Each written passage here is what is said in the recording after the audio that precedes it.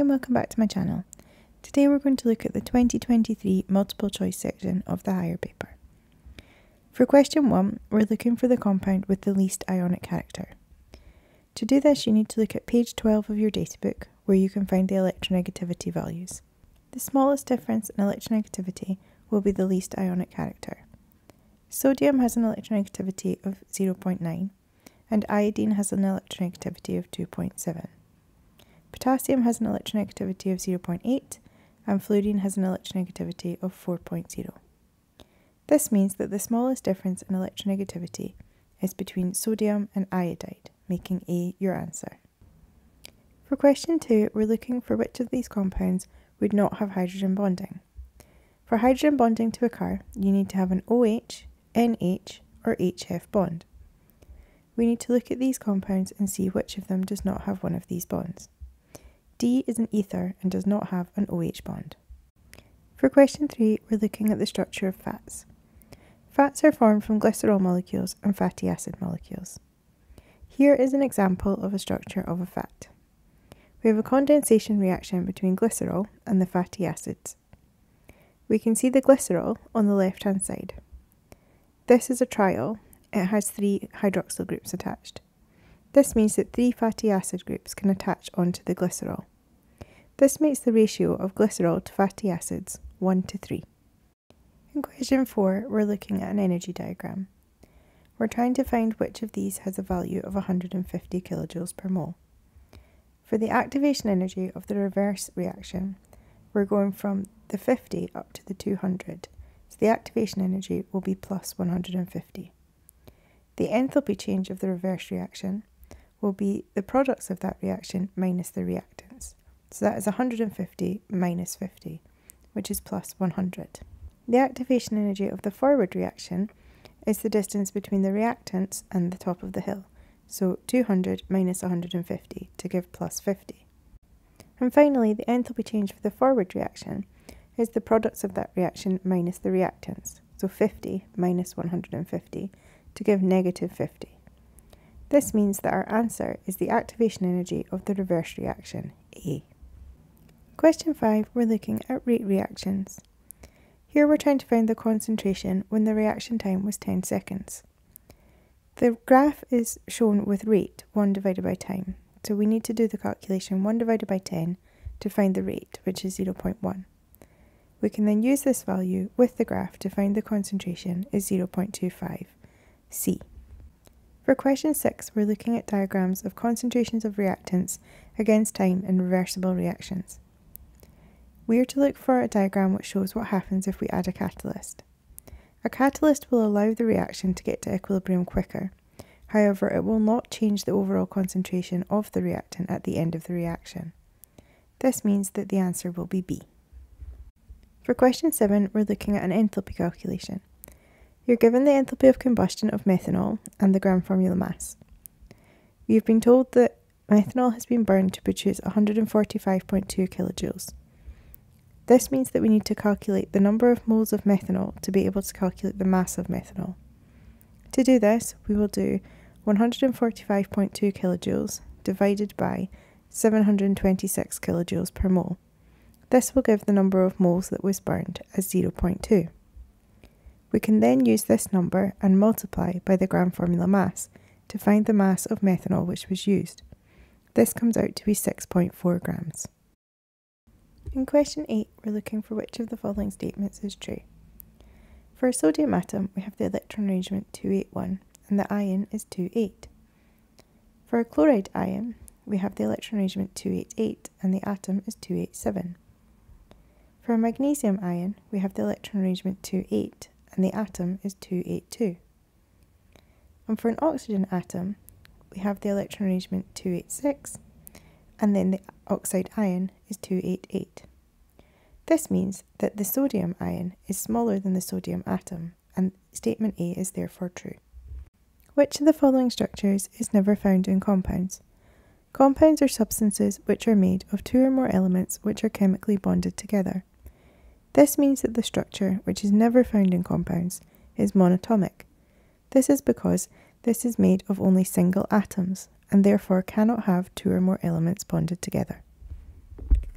In question 10, we're looking for an isomer of hexanal. Let's start by drawing the structure of hexanal. Hexanal has six singly bonded carbons and has a carbonyl group on carbon number 1. We therefore have a formula for hexanal of C6H12O. The best place to start with these sorts of questions is to have a look at the formulas. Check for the number of carbons first and eliminate any which do not have six carbons. Answer A, 2-methyl butanol, only has five carbons and therefore can be eliminated. Answer B has 3-methyl pentan-2-one. This means this has six carbons, so is a potential answer. Answer C, 2,2-dimethyl butan-1-ol also has six carbons, so is a potential answer. Answer D, 3,3-dimethyl has seven, and therefore can be eliminated. Of the two options which are available, 3-methylpentan-2-one has the formula C6H12O. This is a ketone, which is an isomer of an aldehyde. In question 11, we're looking at what happens when two amino acids react in a condensation reaction to form a peptide link. To do this, we lose the OH group from the carboxyl side and we lose one of the hydrogens from the amino side. In question 12, we're looking for an equation which represents an enthalpy of combustion. The definition of enthalpy of combustion is the energy released when one mole of a substance is burned completely in oxygen. This means that only B and D are possible answers. To burn completely in oxygen, we need to produce carbon dioxide and water. In question 13, we're looking at two flasks in a water bath. One flask contains ethanol and ethanoic acid, and the other contains ethyl ethanoate and water. We're to look at what happens to the flasks after a few days. The ethanol and ethanoic acid in flask A will combine to produce ethyl ethanoate and water. This is a reversible equilibrium reaction. In flask B, the ethyl ethanoate and water will react to form ethanol and ethanoic acid. This is also a reversible and equilibrium reaction. This means that after a few days, both flasks will contain ethanol, ethanoic acid, ethyl ethanoate, and water. In question 14, we're balancing a redox equation. On the left, we have 2 minus plus 12 for our charge. On the right, we have no charge. This means that we need to calculate the overall charge on the left hand side, which is plus 10. This means we need 10 electrons to balance this equation. For question 15, we're looking at types of reaction. Here we're comparing two different molecules. We can see that the molecule on the left is an alcohol and the molecule on the right is a carboxylic acid. This means we have had an oxidation reaction. In question 16, we're looking at gas chromatography. Here we have different dyes which are going through gas liquid chromatography. The time taken to go through the column, the retention time, depends on the polarity of the molecule. The more polar the molecule, the longer the retention time. Therefore, Z, which has the shortest retention time, must be a non-polar or less polar molecule than the others. If we have a look at the structures, we're looking for something which is non-polar. A contains OH groups, which are polar. C contains OH groups, as does D, whereas B does not. For question 17, we're looking at measuring the enthalpy of combustion of ethanol we have to find which of these would not improve the accuracy of the result. Using a draft shield would improve the accuracy by preventing heat loss. Moving the thermometer would improve the accuracy as you would be measuring the temperature of the water rather than the can. Using a glass beaker instead of a copper can would not improve the accuracy of the result as glass does not conduct heat as well as copper. Stirring the water would improve the accuracy as you would get a more even temperature throughout the water. For question 18, we're looking for the best description of the ball-like structure called a micelle, which is formed when soap is added to an oil and water mixture. A soap is made up of a hydrophilic head and a hydrophobic tail. The head will dissolve in the water and the tail in the oil, so we can eliminate C and D immediately. The description for A, it says the non-polar head dissolves in water. This is not true. In the description for B, it says the ionic head dissolves in water, which is the case, and the nonpolar tail dissolves in oil, which is also true.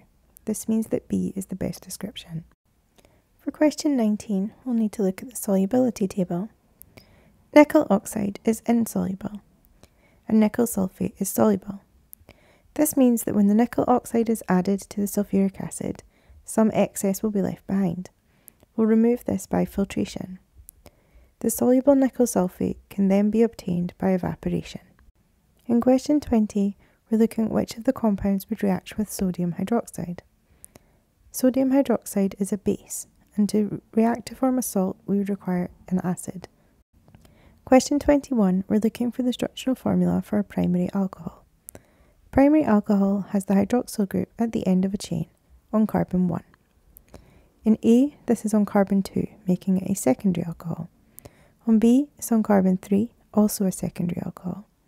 On C, it's at a branch point, making it a tertiary alcohol. But on D, it is on carbon 1, making it a primary alcohol.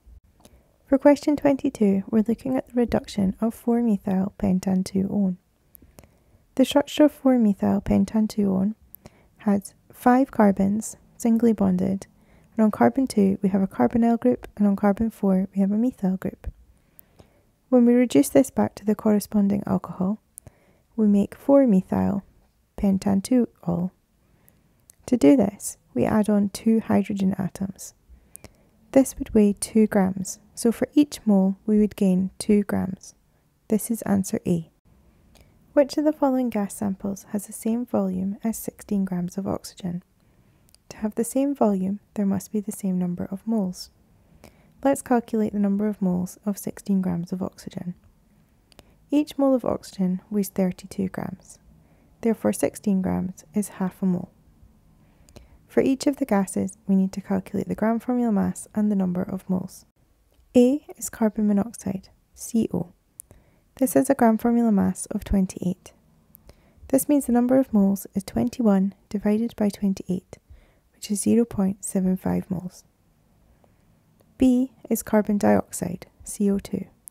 This has a gram formula mass of 44, meaning that there is 1 mole within the 44 grams. C is nitrogen dioxide, with a gram formula mass of 46, so this is also 1 mole. And D is dinitrogen tetroxide, N2O4. This has a gram formula mass of 92 and therefore has a number of moles of 0.5. In question 24, we're looking for the number of moles of positive ions and 0.25 moles of aluminium sulfate. The formula for aluminium sulfate is Al2SO4 3. This means that for 1 mole of aluminium sulfate, there are 2 moles of positive ions. If we have 0.5 moles of aluminium sulfate, then there will be 0.5 moles of positive ions. In question 25, we're looking at the addition of hydrogen chloride to an alkene. This is a problem solving question. You're given the information about where the H and the Cl will add on to the alkene. The H will add on to the carbon with the most hydrogen atoms already attached, and the chlorine will add on to the other carbon.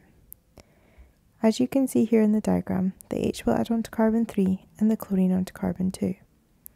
We then need to compare this to the structures given in the answer.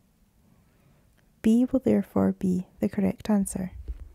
Thank you for watching my video, I hope that you found it helpful. Please remember to subscribe and ring the bell to be notified of new videos. You can also follow me on X at Miss Adams Chem, Instagram Miss Adams Chemistry and TikTok Miss Adams Chemistry for updates on new videos, flashcards and quick videos. Bye for now!